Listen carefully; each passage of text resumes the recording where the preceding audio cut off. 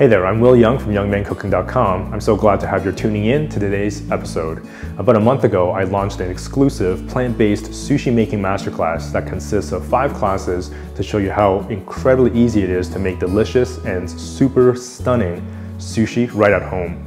I'm pleased today to share with you a preview or the entire first class of this incredible masterclass that you'll really eat up. And of course, at the end of the episode, if you'd like to find out more information about it or take the entire masterclass, you can check that out in the link in the description box below.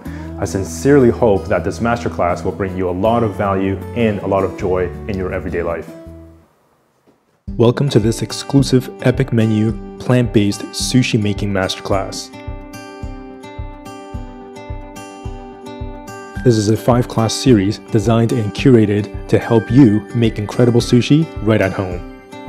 In this class, you'll learn how to make sushi rice without a rice cooker, delicious pickled ginger, and an amazing, thick chickpea mayonnaise. Sushi makes me so happy. Whether you've made sushi at home or just starting out, these straightforward recipes are sure to impress your friends and family and yourself.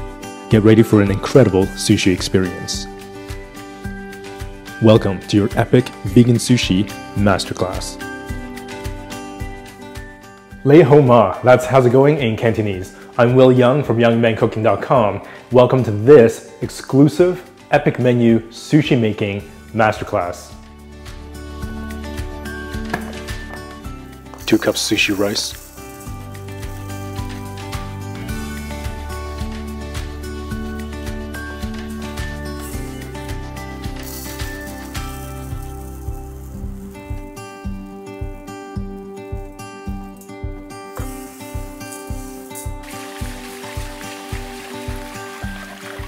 Rinse and strain the rice 2 to 3 times to get rid of the excess starch.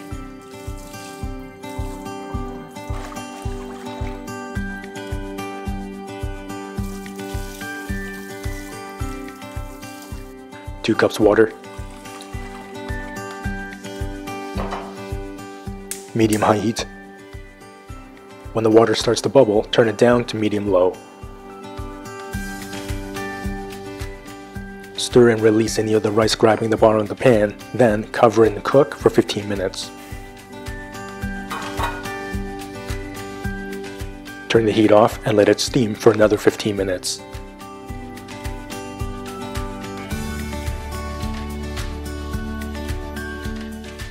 Large bowl. Transfer the rice to the bowl.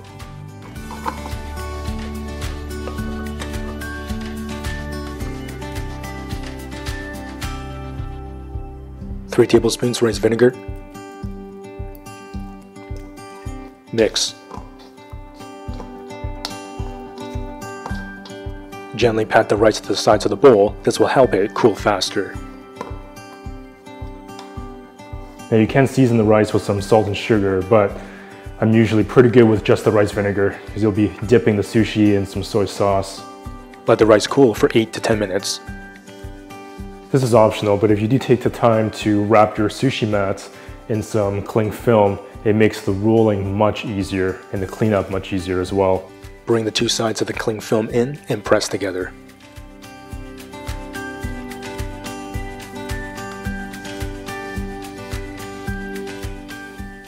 Fold over and press in the remaining sides.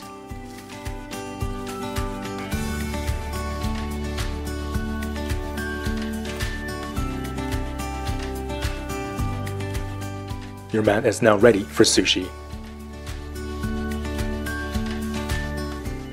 Right, so super simple to make some cucumber and carrot matchsticks. Top and tail off, then cut thin diagonal slices.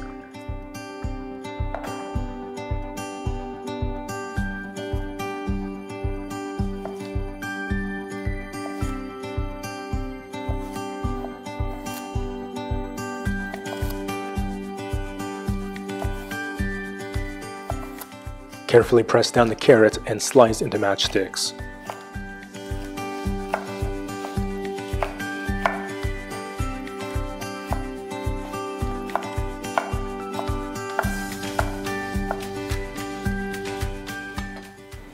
Beautiful.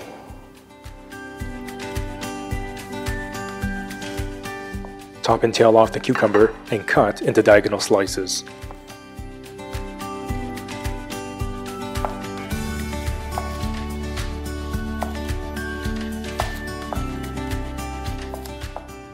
Carefully press onto the cucumber and slice into sticks.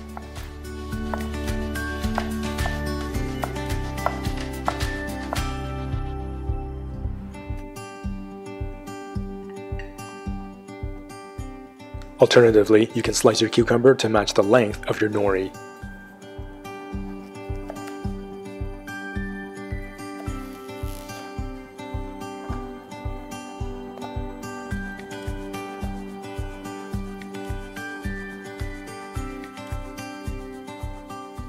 Your veggies are now ready for sushi. Now traditionally, pickled ginger is made with a young ginger which has pink tips and that's what gives it that amazing signature pink color. But of course, those are quite difficult to find and to have a short season. So we're gonna make it with this amazing, humble ginger root. Break down two large pieces of ginger root, roughly 120 grams.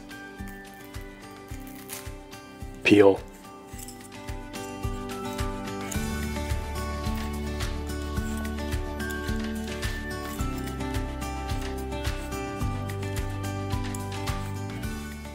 Thinly slice the ginger with a knife or a mandolin.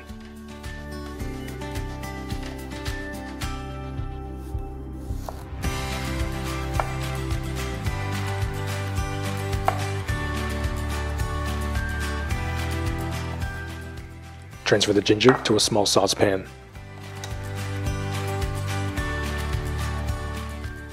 Two cups of water. One tablespoon pink salt. And to get that signature pink color, we're gonna add a few of these amazing dark sweet frozen cherries. Alternatively, you can add some radishes or some beetroot as well. Three frozen cherries.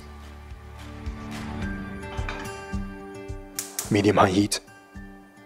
Stir occasionally to dissolve the salt.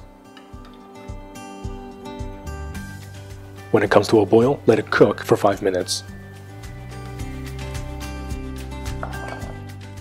2 tablespoons cane sugar,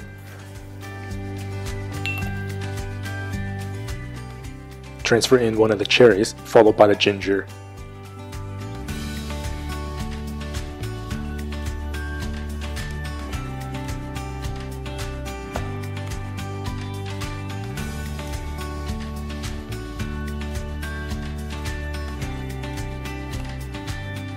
Half cup rice vinegar,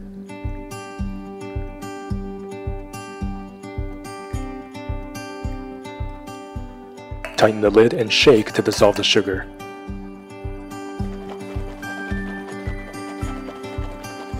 Be sure the ginger is submerged in the vinegar, then transfer to the fridge for at least 48 hours.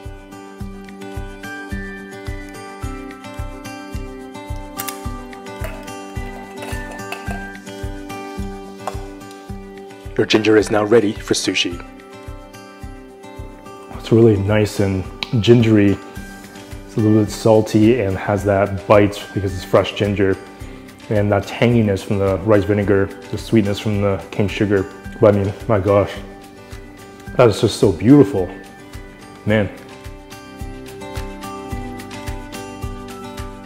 So this amazing mayonnaise recipe is gonna be used as a base for the other classes in this sushi masterclass.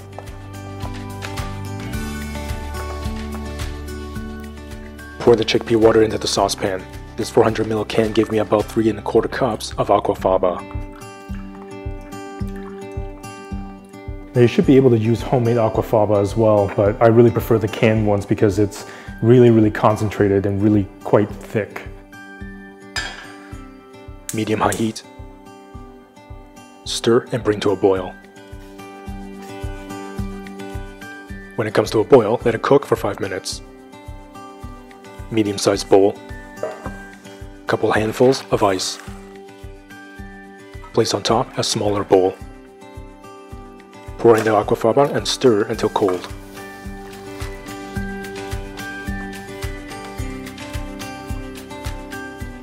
Absolutely crucial that your aquafaba is really nice and cold before you start blending or else your mayo just won't get really nice and thick. Blender aquafaba,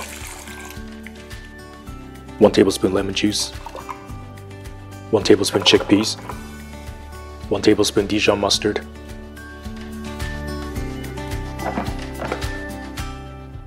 Blend on high to pulverize the chickpeas, then turn it down to medium to medium high.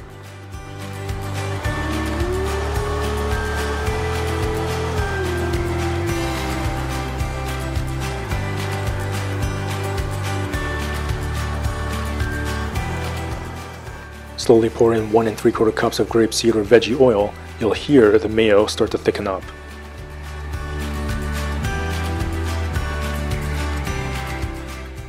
When the mayo gets thick, adjust the speed as needed.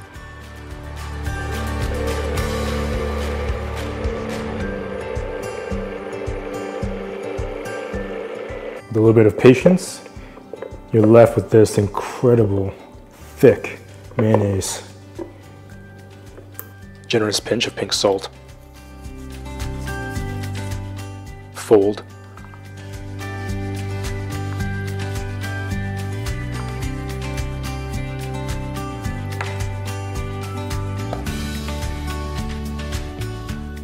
That is really unreal. Just so fluffy. Mm. Tastes exactly like your traditional mayonnaise.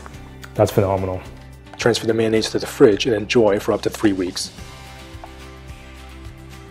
Your mayonnaise is now ready for sushi.